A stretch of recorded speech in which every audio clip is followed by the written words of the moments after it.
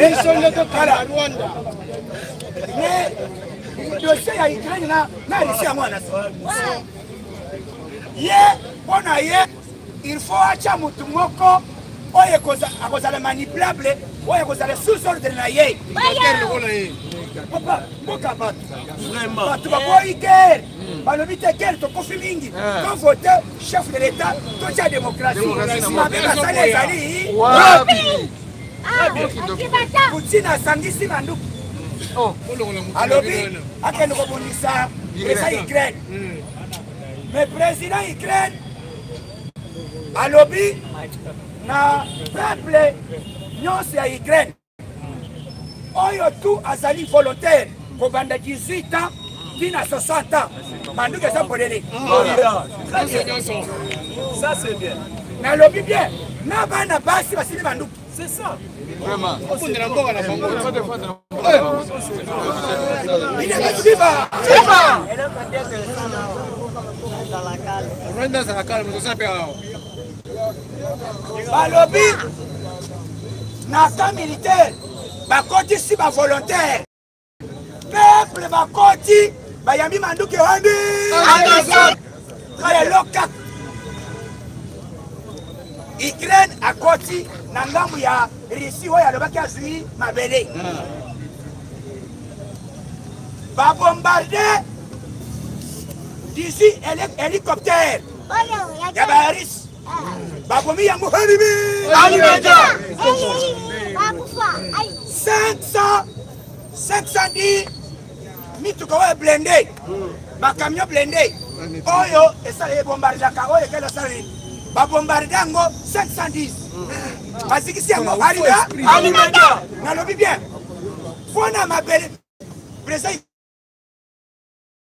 kende nalobi boyi oyo nabimi kobima na ngai eza ya suku très bien yokana décision ya président ah. tipe wana ayebi guerre koleka vanda na risi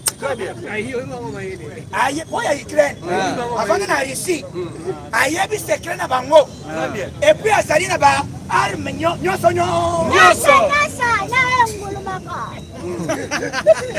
alobi kobima nazobima wapo nazobima po bayebisaki bino babomi ngai nabimi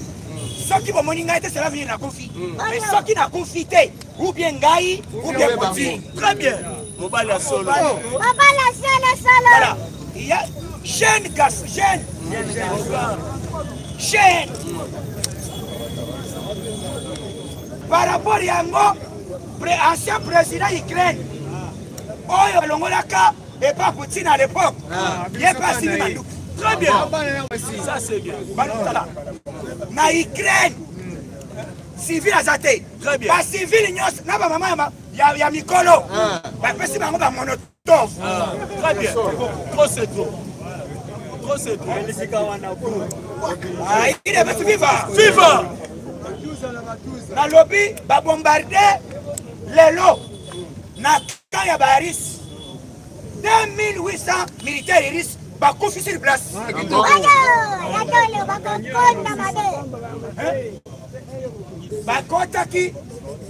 er president ya Ukraine po moyeba ke nazali tala ndako na ngai navandaka yango yango bakoti zamba hmm. soka nde sur plan eh, financière ah. économique ah. fonds monétaire monétaire international hmm. balobi toza derrière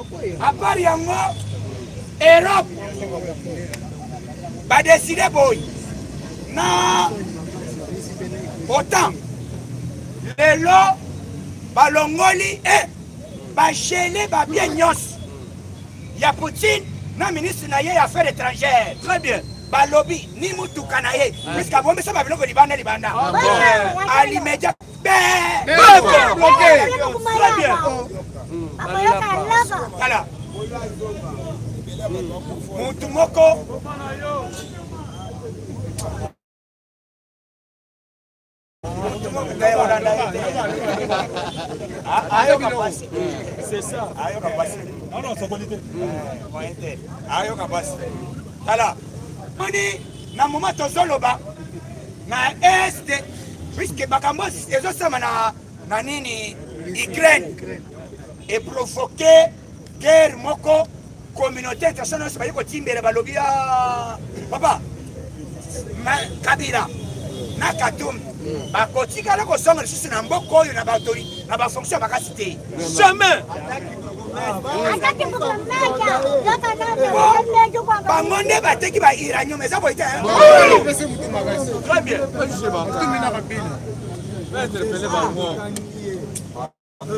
na minite oyo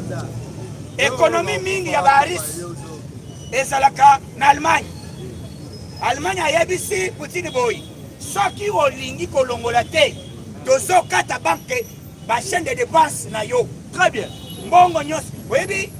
soki baparalyse bino na ekonomi pianka eza plus que monduki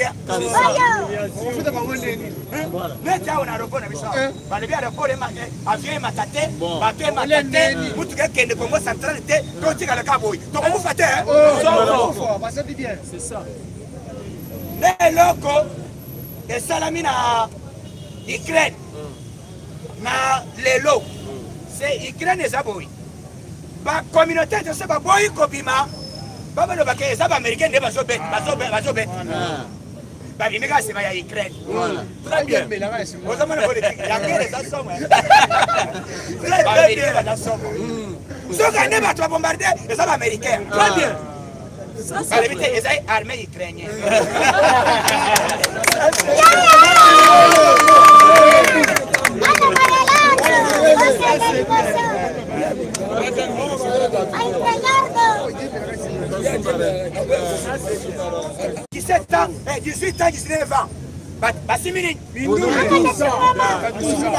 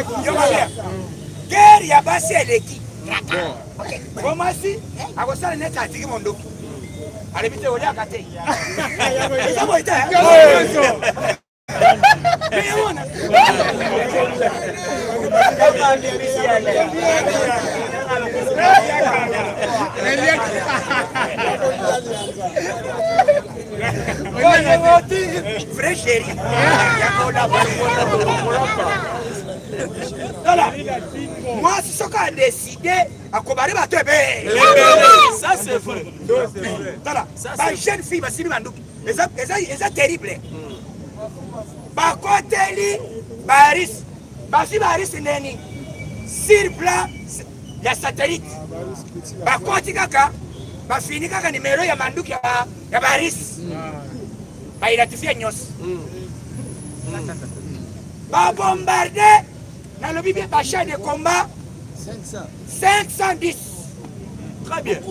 bakei bahélicoptère oyo azalaki likolo hmm. bamoni kaka hélicoptère hmm. moto nana bombardango par téléphone hmm. très bien nano omoni bombe balakisi kai ndako oyo ukraine azo travaille bavrai technicien bazobeta bamisile na appareil technologie avancée c'est ça c'est ça poutine akomi o te na teke ukraine ayebiseke te soki oza mobali ko tondima yo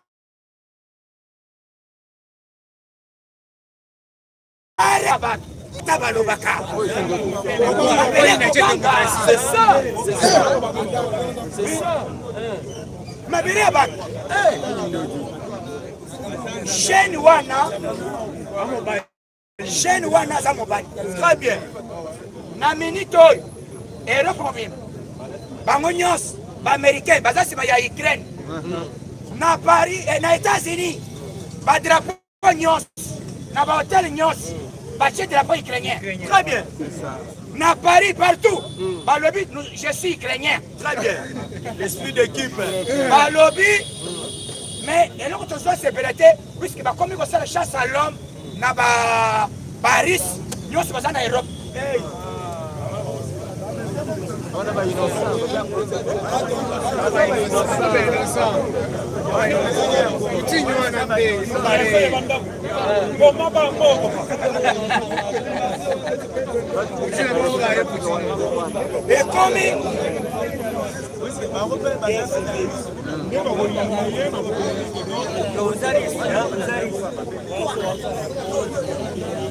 na minute oyo kokoma boso me ya ukraine boyi bino boloba teke baamerike basawa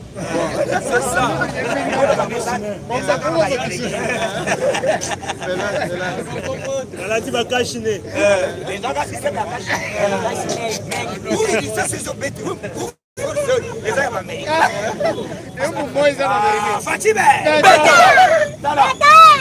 système na osali koloba lobi biso nzambe aépargne biso na guerre oyo nzoka nde guerre ezoya tala bor faci aéchappe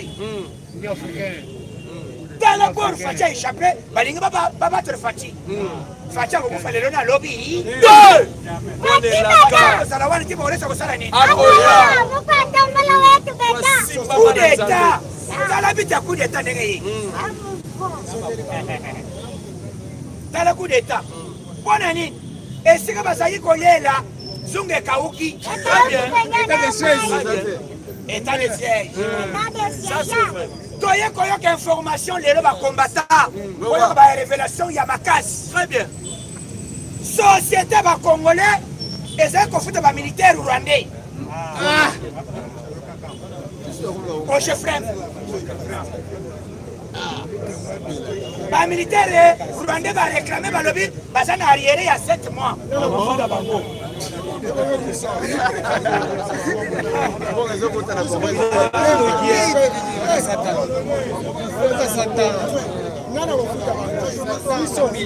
Il est parce que viva Viva Comment Comment armée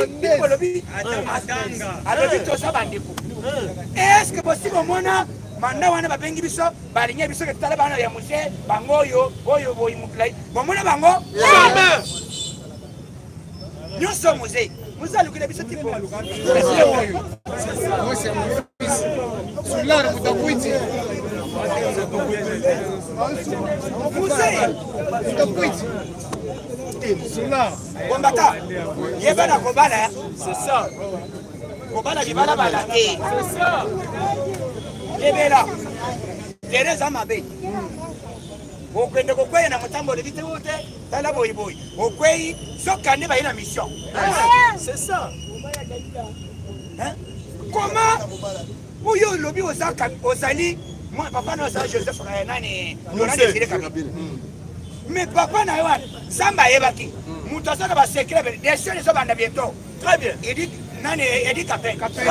Fire. Edith Capin alobi boye. nakobimisa basekre nyonso nyonso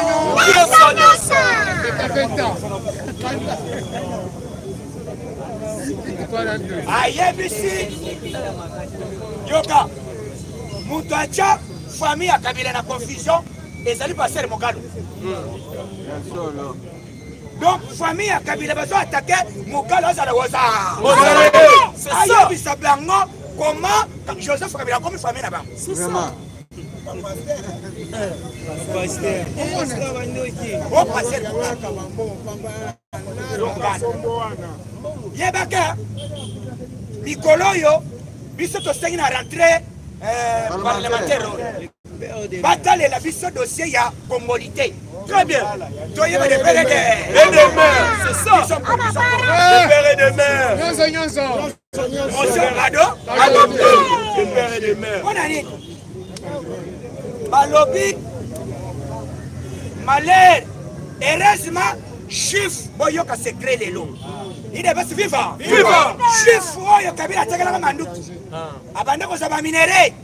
lelo ya komiteka ye moko epa faci beton beton faci mokokoko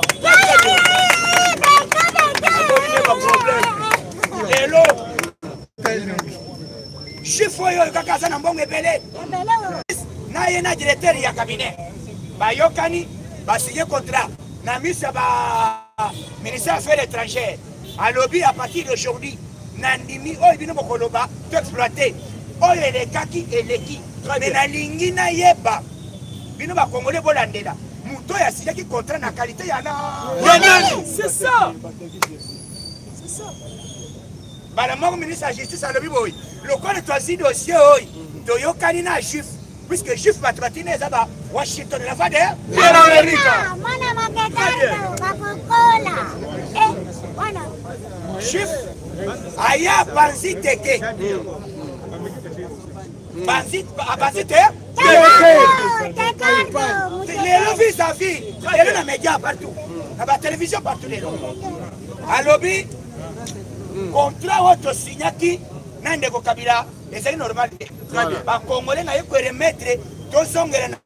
en bonne et due forme mais nalingi nalandela mbongo na bi mbongo na ngai napesaki epa kabila balobi nasalela ye ezala mbongo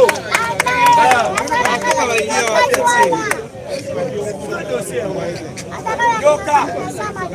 papa eske na moyibi ibilite ezalaka bino ezokamba bato ezolete ela omona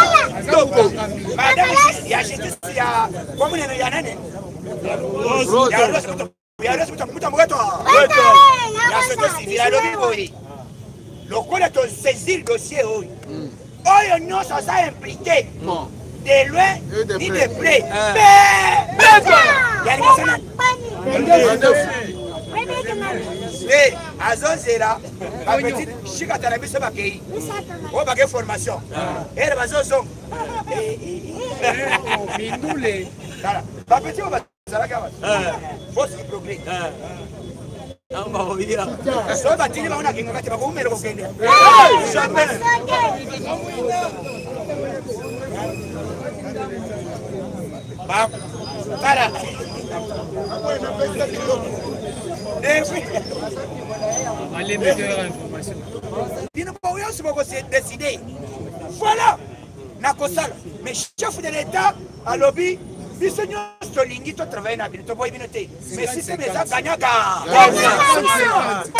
epa kabila ezalaki zwa libela voilà donc congolais nyonso makambo fati azosala bozoyeba yango biso tozokondane baacte oyo ezali kosalama na baquartier contre chef de l'état hmm. makambo oyo ezosalama surtout na quartier 3 semaine prochaine kaka ndenge tozoloba boye semaine prochaine tokosala mama na rang na moi oyo tokosala boya kotuna biso te donc tozosenga moto oyo akanda na nzambe ekita bisika nyonso oyo magicien oyo aye motu ya magicien oyo auti franceamahana aye koanvute rdc aye koanvute faci beton moto oyo akandi na nzambe na bato bayambi ye na esika azolala na mai azomela na mabele akonyata ekoma moto esika nyonso azotambola ekoma moto mai azomela ekoma moto akanisa Fire! Fire! Fire!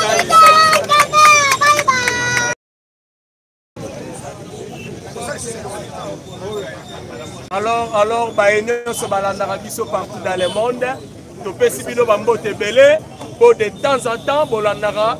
barangi ya bana udps awa na direction générale na limete na mabela bachef de l'état mukwantombolo faci beton de père et de mère toa na mabele na ye place abotama epa na bango mpo ye papa na mama toyebi bango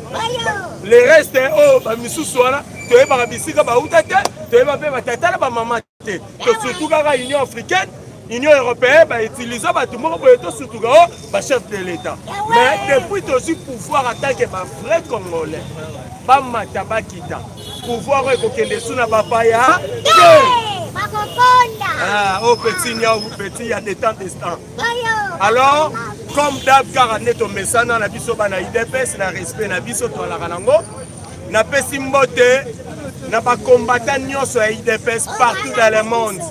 basi mpe mibali na baye toyebi na baoyo toyebi te nzambe apambola biso nyonso bomoko kati na idps likolo nzambe na se biso vraiment bambote belosel faci beton na mama denis niakero tisekedi mama social napesi su mbote ebele na mama mart kasalu mamwenda bana babuni vraiment que dieu vous te bénisse encore et toujours je salue encore toute la famille tisekedi nalela bino fort mbote lisusu na toute la famille chilombo nalela bino fort napesi mbote na bako konzi na biso nyonso ya idps kobanda na likolo mais respect mm. le grand prêtre grand prêtre ba grand prêtre serge augustin kabuya mwana bute ayi na biso le respect na se topesi tu mama sisel mbote bebel isabelle bilonda bana londres solo tolela bino fort tolela bino makasi na baye totangaka na baoyo basi totangaka te napesi su mbote ebele na mama meta na france tantine na nga tantine helene mama na savane mama na savane na angleterre tobosani te tobosani te françoise kalengela oyo ya biso ya yoka son tv française napesi yo bambote ebele na angleterre mikolo ebele ebele ebele tobosani te le grand le grand coordonnateur oyo ya biso ya idps le jeune patron bisika confiance ya mokonzi delphin katende yoka so efandaka le grand coordonnateur blaise Chitenge. Que Dieu vous te bénisse encore et toujours. Bambo Tebele, à tous les journalistes à l'occasion TV, Nalela Binomingi, tous les caméramans.